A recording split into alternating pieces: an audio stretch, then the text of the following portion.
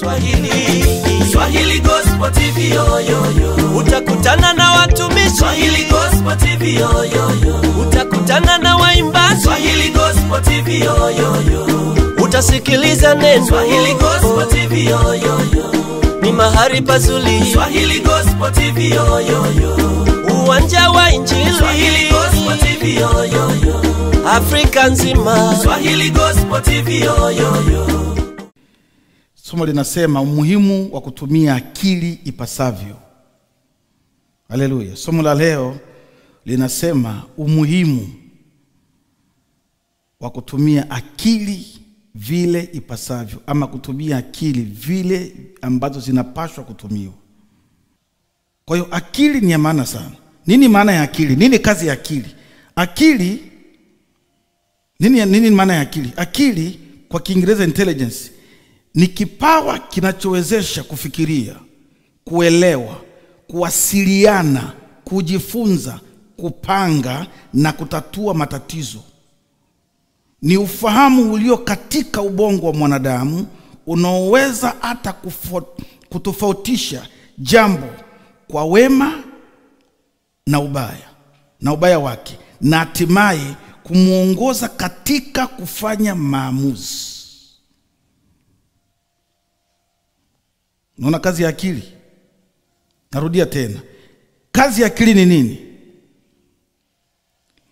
Akili ni nini? Pamoja na kazi zake, ni kipawa kinachomwezesha mtu kufikiria, kuelewa, kuwasiliana, kujifunza, kupanga. Haleluya! Kupanga na kutatua matatizo ni ufahamu ulio katika ubongo wa binadamu unaoweza hata kutofautisha jambo kuwa wema na baya. Bwana asifiwe sana, na hatimaye kumwongoza mtu kwenye kufanya maamuzi. Sasa unaweza kuona kazi ya akili vile ilivyo kubwa, ama vile ambavyo akili ilivyo na umuhimu. Kwa hiyo hii sehemu hii ya kufikiria, kuelewa, kuwasiliana, kujifunza, kupanga, kufanya maamuzi is very important. Kwa hiyo utaona akili zisipotumiwa sawasawa na vile ambavyo Mungu anataka, maeneo yote ambayo nimetaja hapa yanakuwa yanaathirika. Bwana asifiwe sana. Kwa hiyo akili ya mtu isipofanya kazi sawasawa, maeneo niliyotaja hapa yanaanza kuathirika. Eneo la kwanza kufikiria kutakuwa tofauti, kuelewa kutakuwa tofauti, mawasiliano yatakuwa tofauti, kujifunza kutakuwa tofauti, kutatua matatizo, somo la last week, itakuwa ni ngumu, kwa sababu unapotatua matatizo unatatua kwanza kwa kitu ambacho unaelewa nacho. Bwana asifiwe sana. Na jambo lingine kubwa, kufanya maamuzi kutaathirika. Bwana asifiwe sana. Haleluya. Tusome kitabu kimoja, tusome kile kitabu cha cha Luka, soma kitabu kimoja peke yake, kitabu cha Luka kile tatu wa Kiingereza hapo. Kitabu cha Luka, Luka ile sura ya ishirini na nne Luka ishirini na na mstari wa arobaini na tano Just Luke eh, 24 eh, verse 45 Biblia inasema hivi. Kristina, umepata? Acha nisome kwa Kiswahili afu utasoma Kiingereza. Ndipo akawafunulia akili zao wapate kuelewa maandiko. Haleluya. Okay. Sasa ukisoma kitabu cha Luka, Biblia inasema nini mtumishi Ibra? Ndipo akawafunulia akili waelewe nini maandiko. Kwa hiyo Yesu kabla japaa aliona wanafunzi hawakuwa na shida ya kusoma, shida ilikuwa kwenye akili, na Biblia iseme ndipo akawafunulia maandiko, ndipo akawafunulia akili wapate kuelewa nini maandiko. Kwa hiyo unaweza ukaona msisitizo wa hili wa huu mstari ni akili za mahali fulani zilikuwa na shida ya kuelewa neno. Kwa hiyo utaona kufunuliwa ndiyo sosi, lakini kufunuliwa, kufunguliwa akili ndio ilikuwa ni matokeo Kwa sababu gani? Kama Yesu angesema ndipo Yesu akawafunulia na maandiko, akili hapa zisingetumika, lakini anasema ndipo akawafunulia akili. Kwa hiyo kumaanisha kilichokuwa kinasomwa kilikuwa hakidakwi vile inavyotakiwa. Unajua watu wengi wanashinda kulani kwamba hivi unaposoma Biblia, ndani ya Biblia, dada Pamela, huwa kuna sauti, kuna mawasiliano ambayo yapo kati ya mtu anayesoma Biblia na Biblia. Lazima ndani ya mstari unaosoma kuna sauti, na ndio maana watu wengi wakusoma Biblia hawaishi Biblia kwa sababu wanasoma kama gazeti. Lakini unaposoma Biblia, hii ni pumzi ya Mungu. Kuna maneno katika ulimwengu wa kiroho, kuna sauti inakuwa kati ya wewe unayesoma na neno. Kwa hiyo kile ambacho kinaingia ndani yako kinakuwa ni kitu ambacho kinakuwa hai. Bwana asifiwe sana. Gazeti halina uhai, ni historia tu. Oh, Mbagala watu wameuana. Neno la Mungu ni uhai. Ndio maana linasema kila neno lenye pumzi ya Mungu lafaa kwa mafundisho. Kwa hiyo neno la Mungu sio neno, lina pumzi, kwa hiyo lina uhai. Kwa hiyo katikati ya mtu anayesoma na Biblia huwa kuna sauti ya mtu anayesoma anasikia kutoka ndani ya neno. Haleluya! Kwa hiyo msisitizo hapa ni akili. Yesu aliona kuna shida ya akili kutumika, na akili ikivurugwa, uelewa wa neno unavurugwa. Bwana asifiwe sana. Unaweza kukaa na mtu kwenye ofisi, unajaribu kumwambia kitu ambacho kitamsaidia kwenye maisha yake. Unamwambia hapa ni Marekani na system hapa inakwenda 1 2 3 4 system ambayo uko nayo kidogo iko tofauti, lakini ukikutana na mtu ambaye akili zake ni nzito, uta, utaongea utaongea mpaka utachoka. Bwana asifiwe sana. Kwa hiyo akili inapokuwa haiwezi kutumika, kile ambacho kinatakiwa kufanyika hapa kinavurugwa. Kwa hiyo Yesu aliona, akaona hawa, kabla sijaenda, acha niwapatie nguvu ndani ya akili zao, ili sio kuzitegemea, wazitumie vile inavyotakiwa, na sehemu moja kubwa ya kuzitumia kwenye kuelewa neno. Oh, haleluya! Kwenye kuelewa neno, wakishaelewa neno inavyotakiwa, matokeo yanayotokana na kuelewa kitu inavyotakiwa yanakuwa na nguvu. Bwana asifiwe sana. Matokeo yanayotokana na mtu kuelewa kitu yanakuwa na nguvu. Ndio maana hata sisi ambao tumeoa, ukishamwelewa mme wako sehemu fulani ana udhaifu, ukishamwelewa mke wako usimfanya na udhaifu, ile kuelewa na udhaifu, hauelewi ili uwe ndoa, unaelewa kitu kimoja kikubwa, umwombee kwenye area zile ambazo ana udhaifu. Bwana asifiwe sana. Kwa hiyo unapoona madhaifu ya mme wako sio fimbo, Mungu anakuonyesha ili usimame naye kwenye nini? Kwenye maombi. Bwana asifiwe sana. Kwa hilo sasa, angalie hapa kitabu cha Mwanzo sura ya tatu, nakwenda haraka haraka. Ukisoma kitabu cha Mwanzo pale ambapo Kilesina amesema Mungu anakuja kwenye shamba la Edeni, anakuta vitu ambavyo amepanga sivyo vile vilivyo. Anamuuliza Adamu, huko hapi?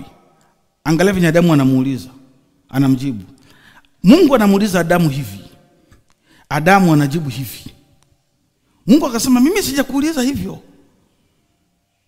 kwani umekula lile tunda, umefanya kitu ambacho nilikuambia usifanye. Kwa hiyo unaweza ukaona wakati Mungu alikuja kwenye shamba la Edeni, alikutwa maeneo yamevurugwa, akakuta vitu haviko vile inavyotakiwa. Bwana sifiwe sana. Namaanisha nini? Akili inapokuwa haitumiki vile inavyotakiwa kitu cha kwanza mawasiliano yanavurugwa. Kwa hiyo unaona, kitu cha kwanza ambacho kilitoka kwenye shamba la Edeni baada ya mwanadamu kufanya dhambi, mawasiliano yalivurugwa. Anamwambia sio mimi, ni mwanamke ulionipa ndiye amefanya mimi nifanye dhambi. Uko wapi? Niko uchi. Mungu anakuuliza nani amekuambia uko uchi?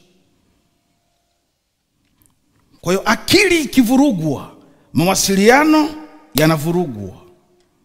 Doreti, na Mungu alimjibu vizuri sana, nani amekuuliza kama uko uchi? Nimekuuliza uko wapi? Nikuniambia tu niko kanali Winchester, niko kanisani. Sasa mimi nakuuliza hivi, wewe unanijibu hivi. Unajua maana yake? Akili ikivurugwa, mawasiliano yanavurugwa, hata ndani ya ndoa akili ikivurugwa, mawasiliano yanavurugwa. Ndio kilichotokea hapa. Kwa hiyo baada ya akili ya hawa watu kuvurugwa, mawasiliano ya Adamu na Mungu yakavurugwa. Ndio maana Mungu alimuuliza, nani amekuuliza hilo? Kwa sababu unajibu kitu ambacho sikukuuliza. Kwa hiyo kuna umuhimu mkubwa wa kutumia akili, na shetani anajua hii siri kwamba akivuruga akili ya mtu, akili ni sehemu moja nyeti sana ya kuitunza, kuombea akili zako ili zifanye kazi kwa ustadi, na akili ikifanya kazi kwa viwango vya chini utapata shida, kwa sababu kuna maeneo utapata matokeo ambayo unataka kupata. Kwa sababu gani? Akili hazifanyi kazi. Hata kumpenda Mungu tunaanza na akili. Mpende Bwana Mungu wako. Kwa nini? Kwa nguvu zako zote. Kwa nini? Kwa akili zako zote. Mungu atumii tu vitu vya rohoni kwamba soma neno. Aa, anasema kabisa hata kwenye kumpenda Mungu, kwenye kujiachilia kwa Bwana, kuja kanisani, kujikita kwenye maombi, neno, lazima uzifunze akili zako kwamba vyenye na kutumia ofisini ndivyo pia nitakutumia kwenye kazi ya Bwana, maisha yangu ya rohoni. vyenye unatumia akili zako kusoma, unatumia akili zako ofisini, unatumia akili zako ufanye kazi, hata bosi akupende. The same same, hizo akili zitumie kwa ustadi kwenye mambo ya rohoni. Bwana asifiwe sana. Kwa hiyo akili isipotumiwa sawasawa inaharibika. Bwana asifiwe sana. Jambo lingine la pili, akili isipotumika sawasawa, jambo la mwisho, usipotumia akili sawasawa, jambo lingine, sehemu nyingine kubwa sana ambayo inaathirika ni sehemu ya maamuzi.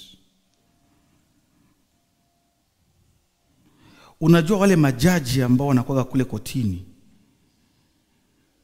huwa wanapata muda wa kusikiliza zile kesi kwa muda mrefu. Kwa sababu gani?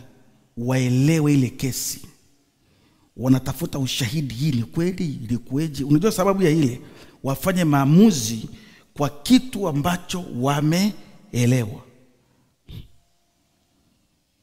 Tofauti tu ya majaji ni kwamba wakati mwingine wana hukumu ambazo sizo. Hiyo ndio tofauti ya jaji na Mungu. Lakini majaji wanaposema rudi tarehe fulani, rudi tarehe fulani, ule muda wanapisha pale ni muda wanataka kuhakikisha maelezo ya huyu aliyekuja kushitaki na maelezo aliyokuja kushitakiwa, tunataka tujue, wana mashahidi, mashahidi wanaletwa, mashahidi wanaeleza. Haya yote ni kutaka kuelewa hiyo kesi, ili siku atakapokaa kwenye kiti cha hukumu ahukumu kitu ambacho anauelewa nacho, ili mmoja asi asinyongewe. Sasa kama hauwezi kupata muda wa kuelewa kesi, itakuwa ngumu sana kutoa hukumu ya haki. Tofauti ya wanadamu tu ni kwamba hata pale anapokuwa ameona haki, wakati mwingine kwa sababu ya rushwa wanatoa haki kinyume. Bwana sifiwe sana. Kwa hiyo akili ikivurugwa, sehemu nyingine nyeti kwenye ndoa, kwenye maisha ya mtu binafsi ni sehemu ya maamuzi. Kwa sababu gani? Huwezi kufanya maamuzi kwa kitu ambacho hauelewi, na ili uelewe lazima utumie akili kwa, utulivu. Bwana asifiwe sana. Maamuzi mengi yanayoangamiza watu ni uwezo wa akili kuelewa. Ndio maana kuna kitu kinaitwa kuassume. Ndio maana kuassume, yaani unaona kitu hauna ushahidi nacho, wewe mwenyewe unajijazia unajijazia eh, mpaka saa tano hawajakuja na jana niliona SMS yake akatari sisome. Unaanza kujijazia mke.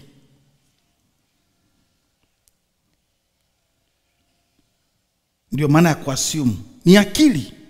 Acha nikwambie, akili is so powerful. Ndio maana bora ukose kila kitu, sio akili. Bwana asifiwe sana. Ndio maana unaona mtu akifanya vitu kwenye jamii ambavyo sivyo, wanasemaga hana elimu, wanasemaga ule jamaa akili zake haziko sawa, lakini ziko sawa. Habebi, habebi nguo mkononi, atembee uchi, ni mtu mzima, ana akili, amesoma, anajielewa anafanya kazi. Lakini vitu anavyofanya watu wanasema yule jamaa akili hazipo. Kwa hiyo eneo kubwa ambalo linapata shida sana ni eneo la maamuzi kwa sababu utakapokuwa hautumii akili sawasawa maamuzi utakayofanya yatakuwa yamevurugwa. Bwana asifiwe sana. Ndio maana biblia inasema kwamba usizitegemee akili zako. Unajua maana yake? Uzitumie tu. Unatumia unatumiaje sasa? Kwa hiyo akili ikivurugwa uelewa unavurugwa maamuzi yanavurugwa kutatua matatizo kunavurugwa kwa sababu ili utatue matatizo lazima uwe na akili nyingi sana za kupambanua mambo. Unasema mchungaji Emmanuel Tambo umevaa shati nyeupe leo unatubiria nini? Kamuulize Sulemani. Alimwambia Bwana nimekuwa mfalme. Kitu nachokuomba nipe hekima nijue kufanya nini? Maamuzi.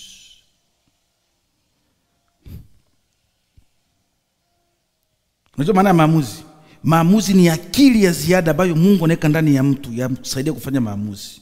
Hekima asilimia kubwa. Ukitaka kujua mtu ana hekima angalia maamuzi anayofanya. Haleluya. Ukitaka kujua mtu amekomaa kiroho ukitaka kujua mtu ni mtulivu ukitaka kujua mtu amekomaa angalia maamuzi anayofanya. Wakati gani? Wakati amekosewa ama wakati kitu kizito kiko mbele yake utasema huyu mtu amekomaa akili oh haleluya pigie bwana makofi. So important. So important. Ndio maana sulemani alimwambia bwana ninaomba unipe hekima. Ili nifanye nini? Nijue kuamua taifa lako. Na kitu cha kwanza mungu alichofanya akamletea mtihani mzito ya wamama wawili wanagombania mtoto. Ukisoma biblia inasema nini? Hata kule ambako wale wamama walikuwa wanaishi walikuwa niishi wenyewe wawili tu. Kwa hiyo ilikuwa ni kesi ngumu ambayo ni kesi haina nini haina ushahidi. Lakini kilichomsaidia ni utulivu na kutumia ile akili ambayo mungu alimpa kufafanua kile kitu. Na tangu ile siku hekima sulemani ikatembea dunia nzima. Hata yule dada kutoka ethiopia. Bithsheba si nakumbuka alikwenda kuonana na sulemani kwa sababu alisikia sifa za sulemani za hekima yake wakati wa nini? Wa maamuzi. Kwa hiyo hekima kwa kiswahili kingine ni akili ambayo mungu anaweka ndani ya mtu ambayo akili hiyo inamsaidia kwenye kufanya maamuzi. Maamuzi mengi yanategemea uelewa wa akili umeshika nini kabla ya hiyo maamuzi. Bwana asifiwe sana. Na eneo moja kubwa ambalo shetani analitaka kwenye maisha yetu ni matumizi ya akili